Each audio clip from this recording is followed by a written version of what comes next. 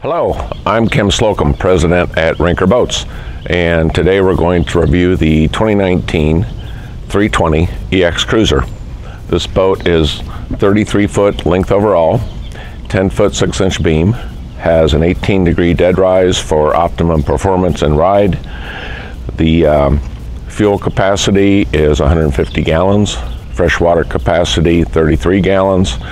Um, this boat is equipped with a twin 300 horse Mercruiser, and these have the Bravo 3 drives and the SeaCore package, which is also a, a, good package for the coastal environments for saltwater. So Mercruiser provides a SeaCore option that gives you extra protection in the salt environment. Uh, we'll start out on the swim platform here to show you a few features. We've got a nice uh, four-step boarding ladder which goes deep into the water, which makes it quite easy for boarding. Uh, we have two pull-up cleats. These are nice because they allow you to cross-tie your stern without having a trip line going to the dock. We have uh, city water hookup here, shore power system hookup there, conveniently placed. Um, the rumble seat also has a nice storage tub underneath, good place for your uh, shore power cords, dock lines, fenders, and so forth. Um, we also have a hot and cold transom shower conveniently located and a transom stereo remote. We use Kicker stereos in all of our boats along with Kicker premium grade speakers. Another feature I'll show you is the aft folding stern seat which folds down and stops in any position you want to recline or to fold flat for a sun lounge. On the 320, as you enter the walkthrough uh, to the cockpit, you'll see that we have uh, the battery selector switch is conveniently located right uh, easy to get to easy to find and see um, we have a nice well-equipped galley you can get it with a two cubic foot fridge, or in lieu of that, uh, an ice maker. Either one is standard, you have one choice. We also have pop-up blender, which has been very popular.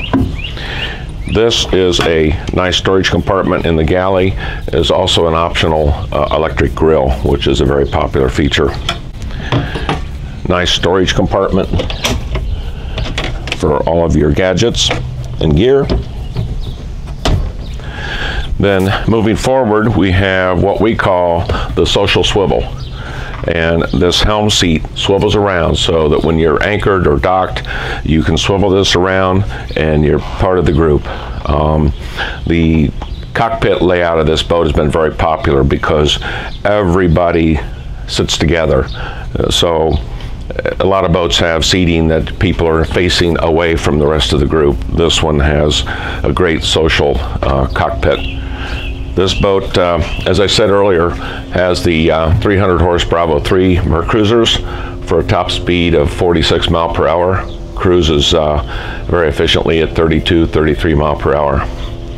Also, this was equipped with the very popular Axius joystick system, which lets you, gives you a lot of great features. Lets you control the boat, you can move it sideways, you can pivot the boat in its own axis. It also has a feature called Skyhook, so if you're coming up to a fuel dock, waiting in line or waiting for a drawbridge to open, you hit the skyhook button, the boat stays put, stays right where you've uh, where you've hit the button. Uh, it also has um, auto heading, which is kind of an autopilot. You can steer to a compass heading you want, hit auto heading, the boat will maintain that course. Also, you can program in waypoints into the Raymarine Hybrid Touch screen. This is uh, a navigation chart and radar. The radar is an option, but the nav chart is standard. Uh, you can program in waypoints and plug that in and the boat will steer itself right to those waypoints. Very well laid out helm. Uh, we have the vessel view screen, which is standard with the Axius system. It gives you uh, it tells you everything you want to know about the engines and what they're doing. And it's, it's digital, so it is very accurate, much more so than the old style analog gauges. This boat is equipped with, it's standard with Lenco trim tabs. This one has the auto glide tabs, which allows the user to program in a presetting that once that's set, you really don't have to operate the tabs anymore. When you're at slow speed at idle in gear, the tabs automatically deploy, fold down, so that the boat planes off quickly with a little bow rise. And then as the boat speed increases and the pitch changes, the tabs start to retract and come up to the point where the boat's running at its most optimum um, angle in the water. We've got a compass, depth gauge, lots of drink holders.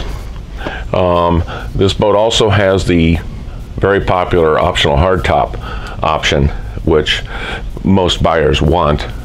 You don't have the large bimini frame. Um, the canvas is much easier to use, um, easy to put up, take down, and you get lots of nice weather and sun protection with this. Um, we also have a nice convenient trash container here. This boat has three trash containers, one here in the cockpit, one in the uh, cabin galley, and one in the head compartment. Also, the flooring on this is uh, the optional marine mat. Very popular, very nice, soft on the feet, very good footing, no slip. Also, on our VHF radio, we have an option, or it's a standard uh, extra external speaker right next to the skipper so that when you're out and you've got uh, wave and wind noise and you're cruising, you can easily hear uh, VHF transmissions coming over the radio. Uh, we place our kicker speakers up in the hardtop so that the sound fills the cockpit much better than speakers down placed down low. So we always try and place our speakers up in higher locations for better sound quality. We have um, a nice gadget storage helm, great place to, to throw your gadgets, your phone, whatever it may be. Um, a nice chart storage compartment right here. And then also, very convenient, for the walkthrough to the bow, we've got a nice handhold right here. So you've got a nice secure um, entry and exit off the bow of the boat. When entering the cabin of the 320EX, first thing you'll notice is a large amount of headroom. We have six foot five inches of headroom in our cabin. So it's easy for to walk around, move about, no ducking, no knocking your head on anything.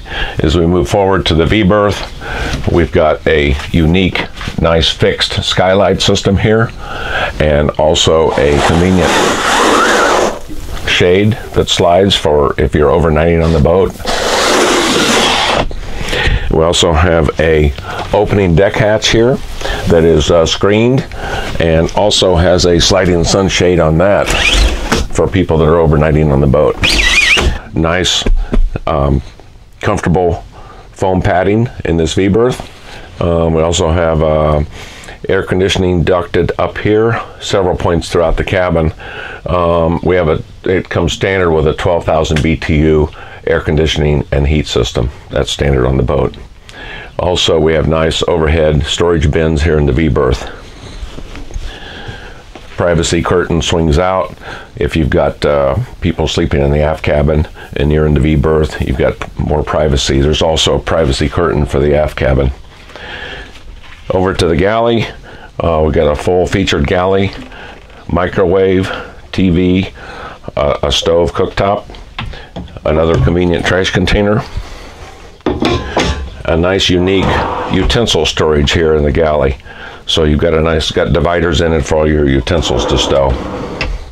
Lots of storage cabinets everywhere for all of your essentials, all your provisions.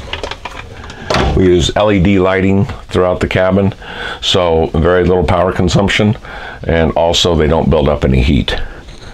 Um, two cubic foot fridge and combination freezer there's also a dinette table that plugs into this receptacle here if you're having snacks on the boat.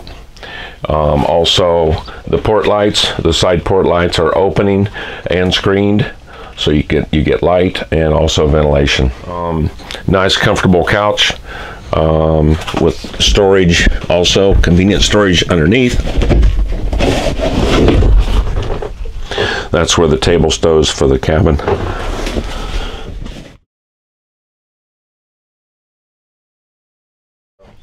The, the head module is all fiberglass lined for easy maintenance and cleanup.